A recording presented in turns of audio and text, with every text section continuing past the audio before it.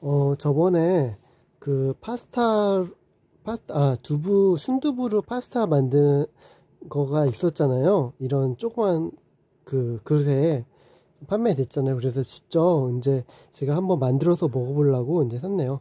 원래는 이 순두부 대신에 이런 파스타를 쓰는데 이 파스타를 안 쓰고 순두부를 쓰는 거죠. 음, 순두부. 그래서 순두부 파스타예요. 오늘 제목이 이렇게.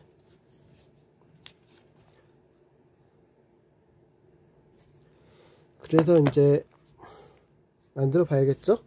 이거는 치즈예요. 모짜렐라 치즈.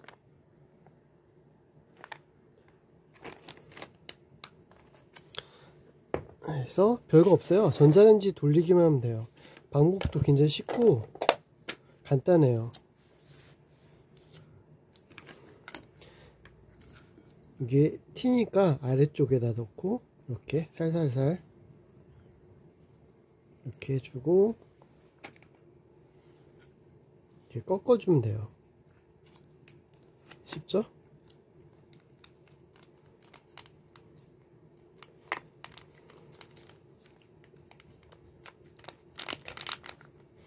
제가 생각할 때는 1인분은 이걸로 충분해요.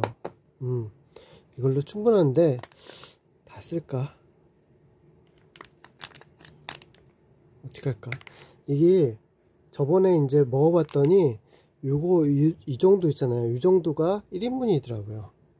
이것도 진짜 많더라고요. 음, 나머지는 지퍼백에 넣어 놓겠습니다. 이렇게 해서 음, 깨끗한 위생적인 지퍼백이죠. 한 번도 쓰지 않은 지퍼백에 넣어서 이제 냉장고에 넣으면 되겠죠. 이런 식으로 다이소에서 샀어요. 싸, 싸게 이렇게 해서 냉장고에 넣으면 되겠죠. 냉장고에 넣고 별거 없어요. 그 다음에 이제 모짜 그 파스타 파스타 넣고 음, 이제 파스타 넣으면 되겠죠.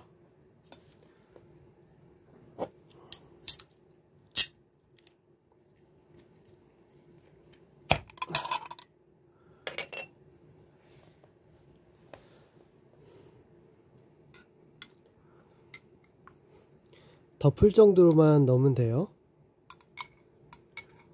너무 많이 넣으면 짜니까 잘 맞춰야겠죠?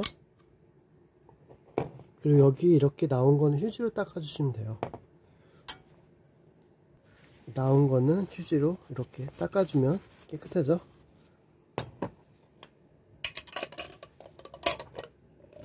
이렇게 하고 언제 섞어주시면 돼요. 잘라서 이게 순두부니까 이렇게 잘라서 약간 섞어주시면 돼요. 생긴 거는 되게 별론데 맛은 있어요. 이렇게 섞어주고 그리고 애들이 특히 좋아할 것 같아요. 매운 거 말고 저는 매운 게 좋아하는데 매운 거 말고 그 안 매운 걸로 해서 애들은 그죠?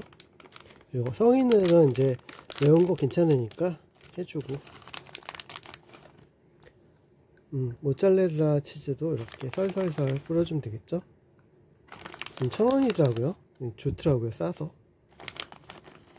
이렇게 뿌려줬어요. 그리고 나머지는 마찬가지로 이 봉투에다 넣어주면 되겠죠? 어차피 같은 식품이니까 그쵸? 음, 그래서 넣어주면 될 것 같아요. 이렇게 해서 이렇게 해서 딱 보관해서 있다가 저녁이나 점심 때 또 먹으면 되죠. 하루 지나면 안 되겠지만 그리고 이거는 안에다 섞어 놓으면 이게 이제 잘 안 녹을 거 아니에요. 그러니까 이 상태에서 전자레인지에 돌려주시면 돼요. 네, 돌려볼게요. 어, 조금 많이 튀었네요.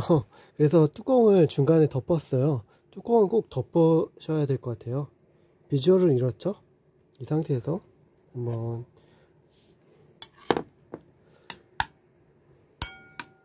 섞으면 음, 이렇게 되고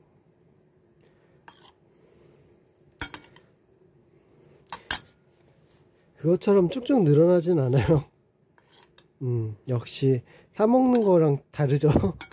비주얼이. 그래도 맛을 한번 볼게요. 좀 실패 같은데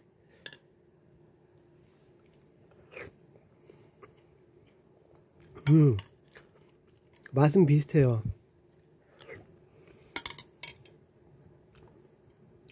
음.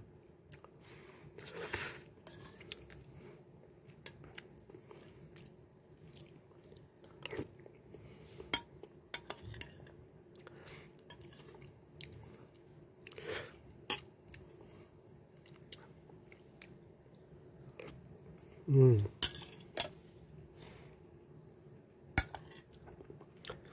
씹히는 맛도 비슷하고 음, 비슷하네요.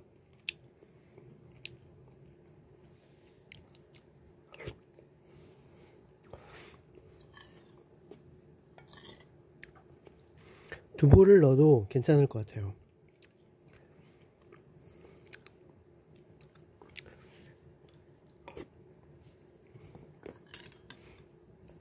햄을 넣어도 되고. 그래서 파스타는 먹고 싶은데 입맛이 없을 때 괜찮은 것 같아요.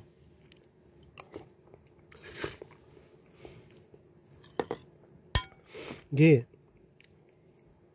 굉장히 이제 부드럽게 해주잖아요. 이 자체가 순두부가. 그러니까 파스타의 강한 맛을 누르면서 그 치즈가 담백하다 보니까 담백하면서 그런 맛이에요.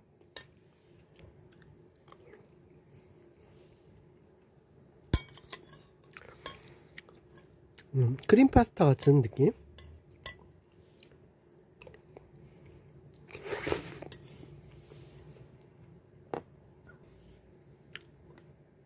나쁘지 않네요. 역시. 좀 걱정을 했는데 딱 좋아요.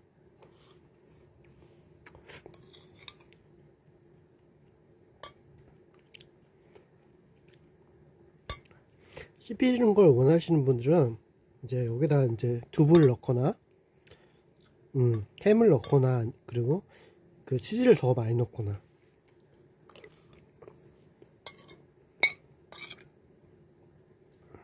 아침 식사나 점심 식사도 괜찮을 것 같아요.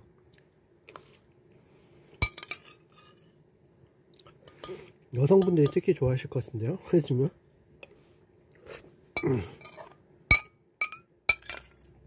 여성분들이 은근히 이제 담백한 걸 좋아해요. 음.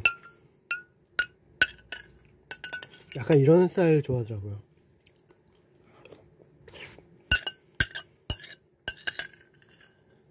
금방 먹었죠?